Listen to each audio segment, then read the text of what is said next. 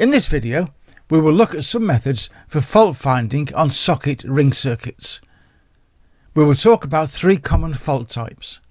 Socket and switch faults, broken cable and conductors, what we call continuity faults, and short circuits giving rise to insulation resistance faults. First of all, let's be clear on what a basic socket ring circuit is for this video. This is the basic ring circuit. We've only shown single sockets here, and of course any of these points could be double sockets or even junction boxes. A domestic ring circuit is normally wired in 2.5mm twin and earth cable and protected by a 32 amp circuit breaker. To start with, we will check that the sockets are all functioning as they should. These are live tests and we will be keeping the socket covers on for the testing. We need to establish the state of things before we start dismantling, and checking the sockets can tell us a lot about the circuit. So let's begin. We will test each socket or point for correct polarity between live and neutral, and to check that there is an earth connection to the front of the socket, and that any switches actually work, that they do turn the phase voltage on and off. A standard BS1363 socket will always have the pinouts as shown. Viewed from the front, from the user side of the socket, the live or phase is always on the right. Begin with checking the voltages at each socket. I prefer to use my test meter and a breakout plug as shown in a later slide. Some electricians will use a good quality plug top tester with LED indication for the health of each socket. A healthy socket, one that is wired correctly and switched on, will give the voltages as shown in the upper left table marked correct. Live to neutral and live to earth will give 230 volts nominal. Because neutral and earth are the same point electrically back at the substation, this will give a reading of around 0 volts. A reverse wired switch, where neutral and live have been crossed over, will give the results shown. Neutral is now live with 230 volts on it. The customer won't know, all the household equipment will still function.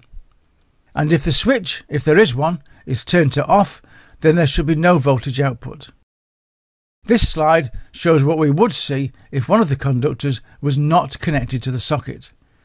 First shown is no live or phase. Then no neutral. And now no earth. We've also shown the correct table again for comparison.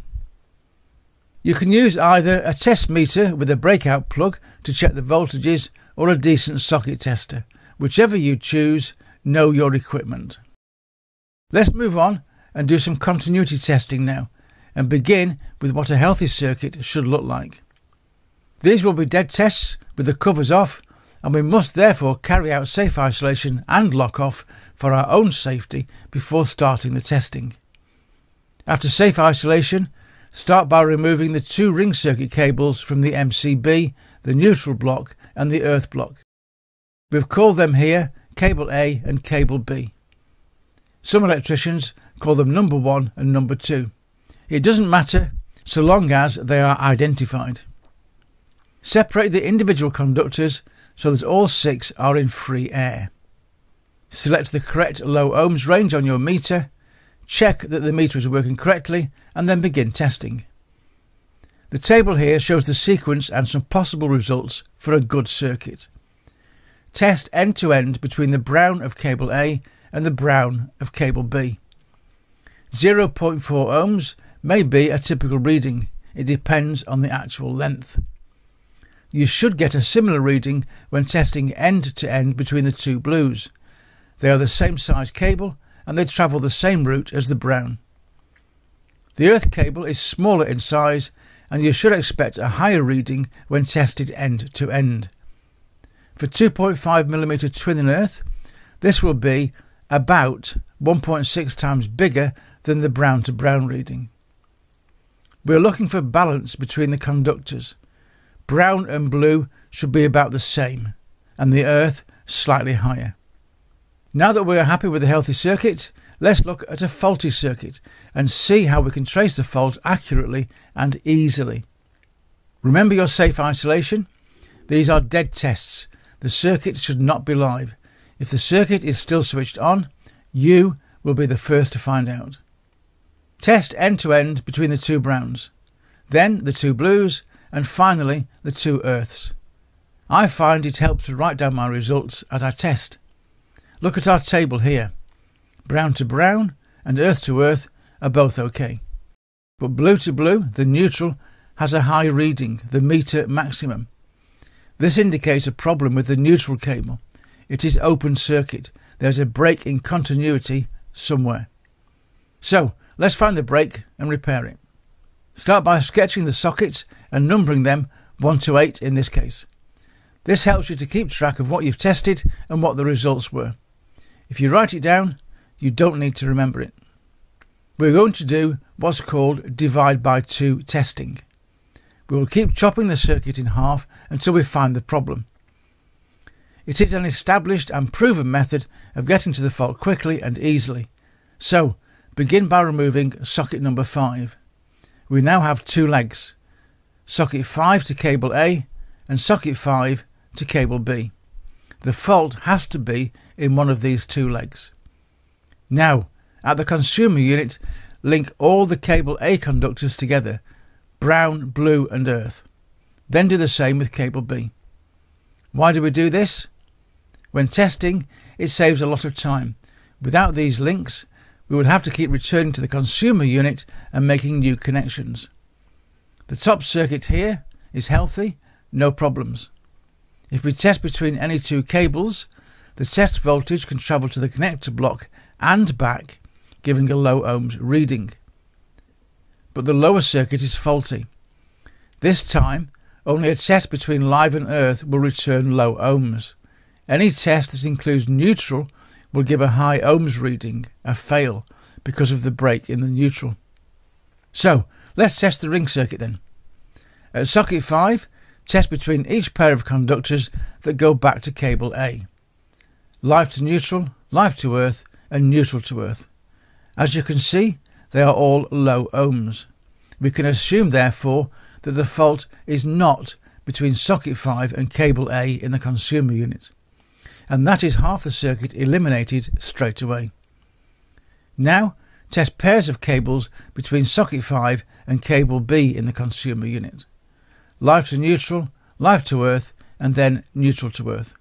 As you can see on this little chart, any test that includes neutral gives a high ohms or open circuit reading. The fault is between socket 5 and cable B in the consumer unit. And we're on our way to finding the problem. Now, split the circuit in half again, this time at socket number 7. Link the conductors at socket 5 as shown and now test the conductors in pairs between socket 7 and cable B and then between socket 7 and socket 5. The two mini charts show our example results. 7 to cable B appears OK, but 7 to 5 has high values again the fault must be between socket 7 and socket 5. We're closing in on the problem. Last little bit. Remove socket number 6 and place a link at socket number 7. Now test 6 to 7, which appears OK on our chart, and then test 6 to 5 and the problem is still there. Any test along the neutral conductor returns a high ohms or open circuit reading. The damaged cable must be between socket 5 and socket 6. How easy was that? If we follow a logical method, we will find the fault. All that's left to do now is to repair or replace the damaged cable, remove all the links, reinstate all the sockets, and to test end to end again at the consumer unit. All being well, we will have good readings this time. Carry out insulation resistance tests, etc., and finally reconnect into the circuit breaker. Complete your live testing and that's it, job done. Now we can look at insulation resistance faults. You must make sure that the circuit is safely isolated and locked off because these are all dead tests. First, we will need to remove and separate cable A and cable B at the consumer unit. Be sure to remove all connected devices and, temporarily, remove or exchange any USB sockets with ordinary sockets. And then carry out an insulation resistance test as normal. We want no links in these tests. We are testing that each conductor is separate from the others. We should test live to earth, live to neutral, and neutral to earth. I normally start at 250 volts test voltage just to make sure that nothing has been left in circuit. Sort any connected equipment issues that appear and, when a 250 volt test passes, turn the test voltage up to 500 volts. So, here we are with our faulty circuit. Let's imagine we have done the tests and these were our results on the twin and earth cable. It appears that we have a short or some problem between the live or phase conductor and the earth. We want high ohms readings, for example 299 megohms, to indicate a pass, and live to earth in our example here is only giving us 0 ohms. But where is the fault? Begin by sketching out the sockets and then numbering each one on your sketch. Now we can carry out our divide by 2 fault finding and begin by removing socket number 5. Test from socket 5 back to cable A in the consumer unit, live to neutral, live to earth and neutral to earth, and write down the results. There is no need for any links. In fact, we do not want links. We want all the conductors to be separate. Now, IR test from socket 5 back to cable B in the consumer unit and record the results. For us, 5 to cable A all passes, so the problem is not in that leg. From 5 to cable B shows a fail between live and earth, so the fault is in this half. Divide the circuit again. This time remove socket number 7. Test from 7 to cable B and all passes. Test from 7 to 5. Live to earth fails again. That just leaves socket number 6 to remove and test. A test from 6 to 7 passes, but a test from 6 to 5 fails again.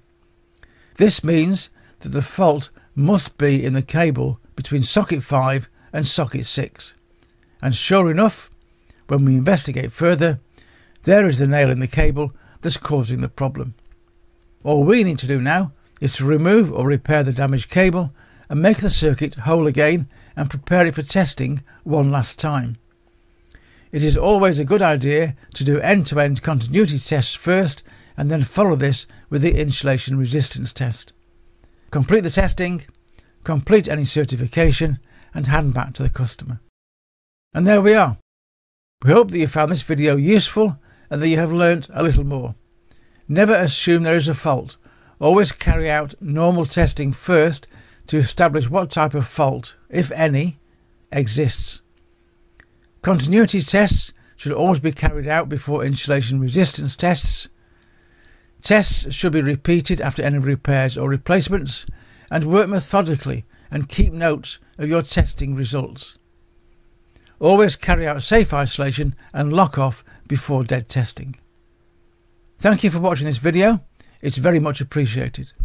Please subscribe to our channel to get access to all of our videos and remember to click on notify to be sure of not missing our next video. Here are some tips on getting even more information and help out of learnelectrics.com. At your web browser, enter learnelectrics.com into the search bar. Select learnelectrics.com from the choices offered and the website, as shown, will open up for you. You now have a couple of choices.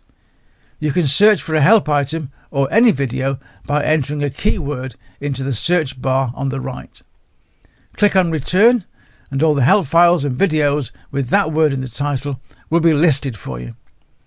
They will be shown with a short description. Click on Continue Reading for more information. Each video listed will have a link shown that will take you directly to that exact YouTube video. Or you can browse through a list of all the available items and videos. To do this, click on the LE logo on the top left of the home page and all of our items and videos will be shown. There will be 10 items shown on each page and at the bottom of each page is a page selector, page 2, page 3, page 4, etc. that will bring up the next 10 items or videos in the list. And don't forget you can also type in Learn Electrics, all one word, into the YouTube search bar to go directly to our channel at any time from any computer. We are constantly adding new videos to our channel. Don't miss the next one. And once again, thanks for watching and we hope to see you again very soon.